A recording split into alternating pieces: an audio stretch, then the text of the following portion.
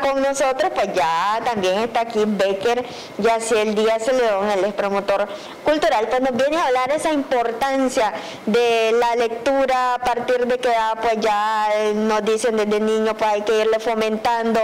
Y pues lo importante es anexar esa lectura en tus diferentes actividades donde vos andás, pues ahí darle ese momentito y ponerse pues a leer eh, algún libro interesante que tal vez estás leyendo eh, o tenés como meta pues leerlo en el año. Buenos días. Buenos días, así es, eh, tal como lo ha estado diciendo, la lectura dentro del ámbito de, de, cada parte de nuestras vidas, esencialmente desde que somos niños hasta llegar a la adultez. Ya en ocasiones pasadas hemos hablado de, esto, hoy principalmente quiero enfocarme en la escritura como tal, porque también es un aspecto importante en, la vida del, joven, del niño y del adulto como tal. Eh, me gustaría enfocarme en dos cuestiones fundamentales, que son el desarrollo, la escritura para desarrollar habilidades lingüísticas y también para desarrollar eh, una forma de expresión artística. Bueno, podríamos empezar diciendo que el nicaragüense, y esto lo, mencionaba Pablo Antonio Cuadra, cada nicaragüense lleva dentro de sí un poeta. Todos los nicaragüenses somos poetas.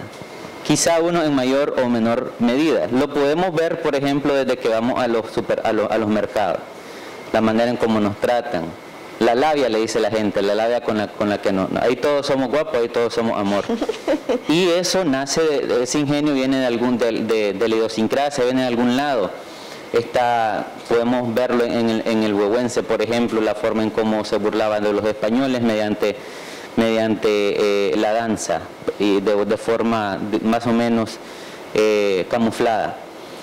Y todo esto son expresiones culturales que se van desarrollando poco a poco, pero que lo mejor de ellas es que han quedado para la posteridad a través de la escritura.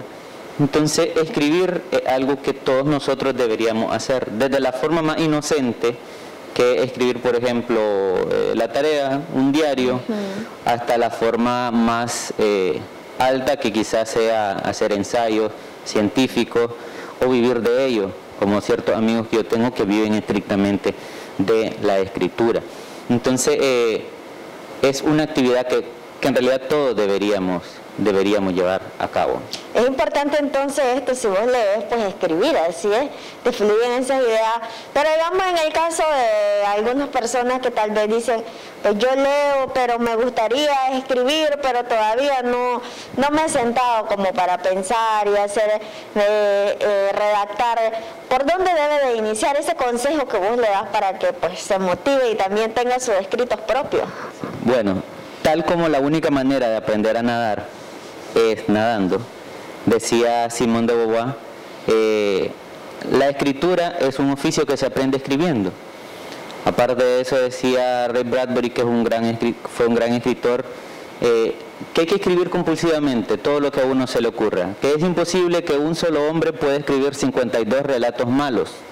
Lógicamente al principio uno va a escribir cosas quizá absurdas. No sé si alguna vez ha ido a revisar eh, lo que publicabas hace 10 años en Facebook y uno siente vergüenza de sí mismo por, las cosas que, por las cosas que uno escribía. Sin embargo, a través del tiempo y, a través de las cosas que uno va aprendiendo, que uno va leyendo, porque un buen, un buen escritor es esencialmente un, un, gran lector, un ávido lector, eh, el pensamiento va evolucionando. Si yo estoy de acuerdo con lo que yo pensaba hace un año, probablemente no he aprendido nada.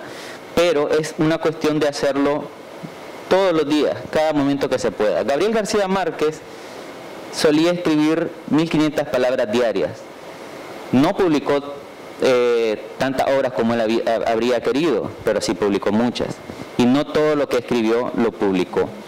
Traigo aquí un libro, eh, más o menos como representación de Lisandro Chávez Alfaro, que es un escritor nicaragüense, un gran escritor nicaragüense autor de Los Monos de San Telmo, autor de Trece veces Nunca, de Trágame Tierra, con narraciones que pueden ir desde las 10 páginas hasta una página y media y que no dejan de ser interesantes. Todos tenemos algo interesante que contar. Podemos incluso de un pequeño chisme sacar una historia para una novela. Lo que pasa es que a veces no nos intentamos a desarrollarla. Ahora, bien, dirás, para, por ejemplo, para, para el oficio de, panadero, para el oficio de, comerciante, ¿en qué le puede servir la escritura? Pues le sirve para el desarrollo también de su pensamiento, para el desarrollo de, de su cultura y su crítica como tal, para el poder de convencimiento. Mientras más uno escribe, eh, aparte de tener mayor fluidez, piensa de una forma más compleja, por así decirlo, y tiene mayores ideas. ¿Cuántas veces este, hemos escuchado decir a nuestros padres, yo quiero que, que vos, hijo, llegue a donde yo nunca pude llegar? Yo quiero que hagas las cosas que yo nunca pude hacer. Y de alguna forma ellos como que eh, quizás se proyectan sobre nosotros. ¿Y cuántas veces habrán querido ellos escribir eh, esas cosas que sentía por nosotros para expresarlas más fácil por escrito, porque a veces diciéndolas de frente les cuesta? Entonces es como una manera de organizar el pensamiento y plantearlo de una forma más, más organizada. Pero creo yo que una de las grandes bondades también de la escritura es que permite perpetuar, perpetuar el pensamiento.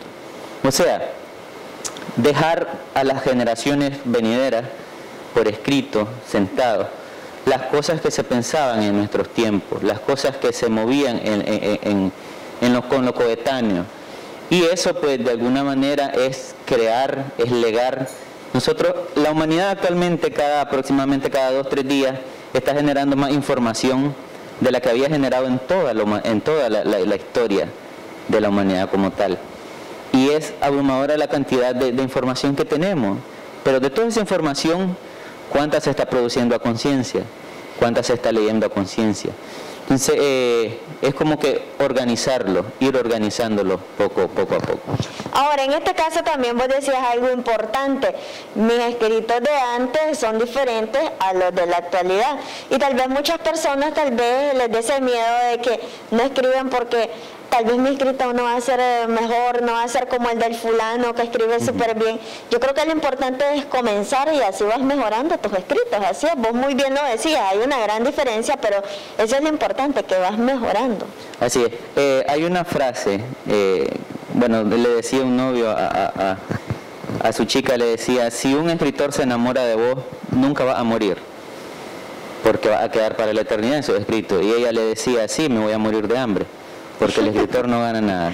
Pero no es cierto. Eh, sí se puede vivir de esto. Y sé que hay mucha gente quizá que nos está viendo, eh, o que, sea desde el más jovencito, que tiene quizá esa chispa, esa, ese deseo de, empezar a crear, de empezar a compartir.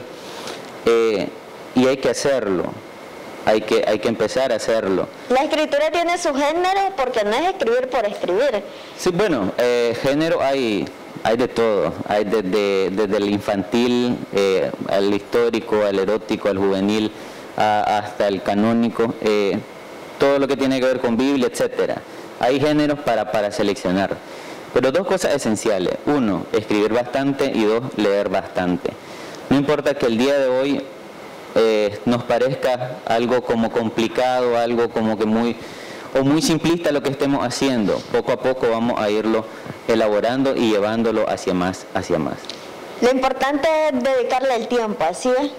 Así es, dedicarle, tal como les decía este, la vez pasada que, vine, que hay que leer por lo menos unos 15 minutos al principio. Bueno, propóngase escribir unas 500 palabras en el día.